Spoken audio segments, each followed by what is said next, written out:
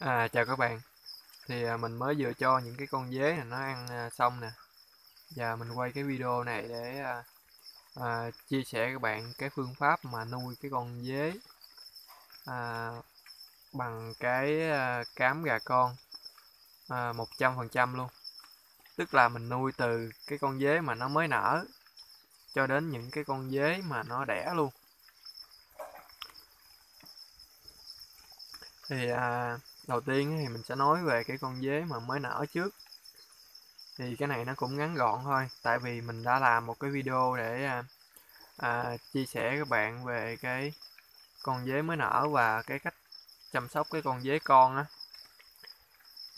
Thì cái con dế con này thì mình làm cái video nó là mình nuôi trong cái thùng xốp. Là khi mà nó mới nở thì mình sẽ nuôi trong cái thùng xốp. Rồi mình để tấm bạc lên mình cho nó ăn thì à, mình sẽ để cái link ở phía bên dưới cái phần mô tả về cái video này á.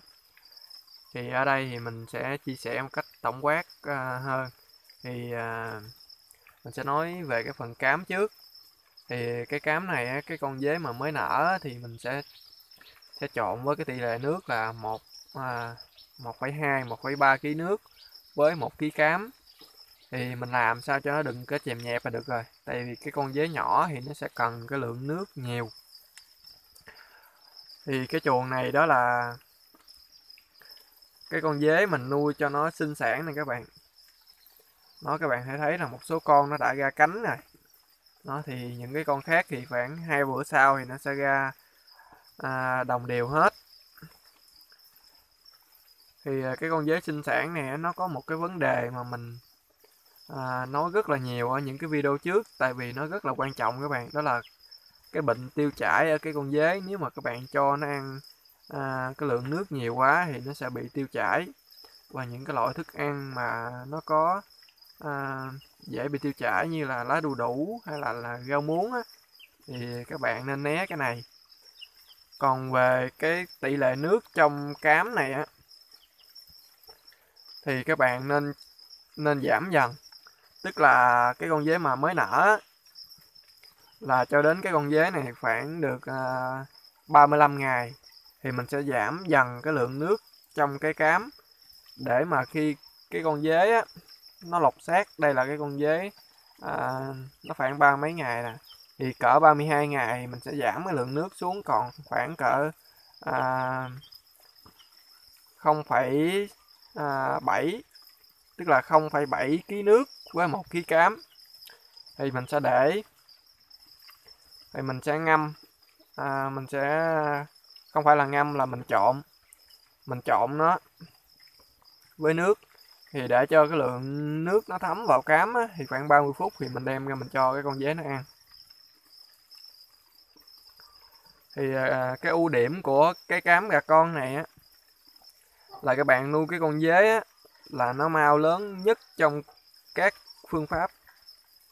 Nhưng mà cái nhược điểm của nó là cái chi phí sản xuất cái con dế này nó sẽ cao. Tại vì cám gà con này là nếu mà mình tính ra một kg á, là mình mua bao là một bao nó là 280 thì thì tính ra nó là 11 ngàn mấy ký á. Còn các bạn mua lẻ thì 13 14 ngàn ký. Thì mình nuôi với cái à, cái chuồng mình hơi lớn lớn thì mình mua bao đi cho nó rẻ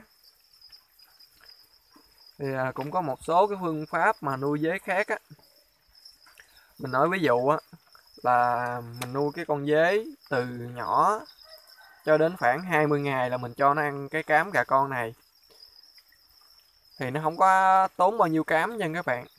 Cái con dế mà nó khoảng hai mươi mấy ngày á, là nó bắt đầu nó lớn nhanh rồi. Thì lúc này nó, cám nó ăn mới nhiều được. Còn nó còn nhỏ thì nó ăn không có bao nhiêu chứ thì mình nên cho nó ăn cám gà con để nó mau lớn.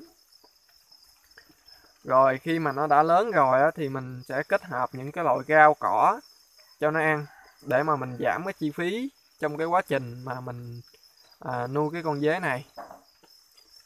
Thì à, cái phương pháp mà nuôi à, con dế bằng cái cám gà con này thì thì nói chung nó cũng đơn giản lắm. Nhưng một số lưu ý nữa là các bạn nên dùng cái tấm tôn này nè đó rồi mình mình cắt ra khoảng cỡ ba tấc rưỡi vậy đó. Rồi mình để vào cái chuồng cho nó ăn. À, cái cám gà con này nó ngâm nước á, thì nó sẽ mềm. Và cái con dế nó không có tha xuống phía phía dưới đá chuồng các bạn. Còn các bạn để cám khô mà dạng viên á, thì nó sẽ tha xuống đá chuồng. Mà ăn không hết á, thì cái viên cám nó hút ẩm á, thì lâu ngày thì nó sẽ bị hư và cái con dế nó ăn lại thì nó sẽ bị chết hàng loạt đó, thì cái con dế này à, mình nuôi phải kỹ một chút. Thì nó cũng đơn giản vậy thôi. Đó, cái tấm ton này mình xài nó cũng lâu rồi.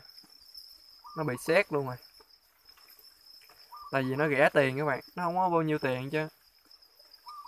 Thì một tấm vậy là 50 ngàn thì một tấm lớn á 50 ngàn thì mình cắt ra 7 tấm nhỏ như thế này nè nó không bao nhiêu tiền. Còn các bạn cho nó ăn cái khay á thì cái thứ nhất đó là nó mất thời gian.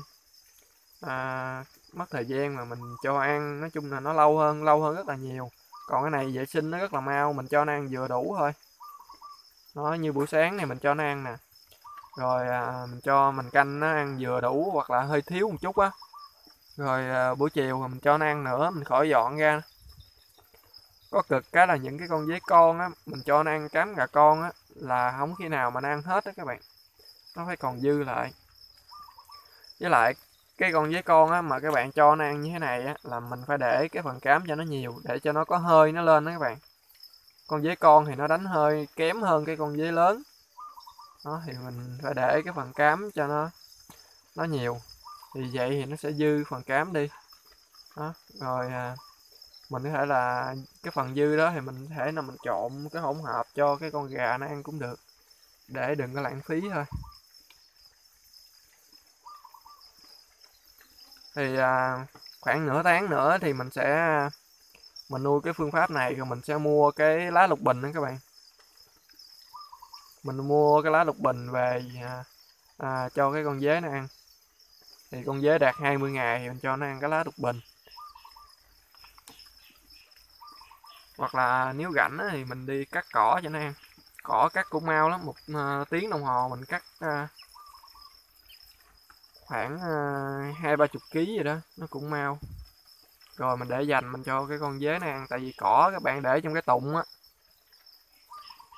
Mình ăn bao nhiêu mình à, xin lỗi mình cho con dế nó ăn bao nhiêu á thì mình lấy ra bao nhiêu thôi. Còn ở phía dưới á, nó nó ẩm ẩm á là cái cỏ nó nó cũng xài lâu á chứ nó cũng à, không có mau hư. Mình trải trên mặt về ra thì nó mau hư lắm. Rồi thì mình cũng có một số chia sẻ nhỏ các bạn vậy thôi. À, nếu các bạn có cái à, thắc mắc gì á hay là có cái ý kiến gì thì mình có thể là comment ở phía bên dưới á. Để khi nào à, mình rảnh thì mình trả lời cho các bạn. À, các bạn cũng có thể là nhấn nút đăng ký kênh á nếu mà các bạn chưa đăng ký để khi nào mà mình ra cái video mới nó sẽ hiện cái thông báo cho các bạn xem. Rồi, chào các bạn.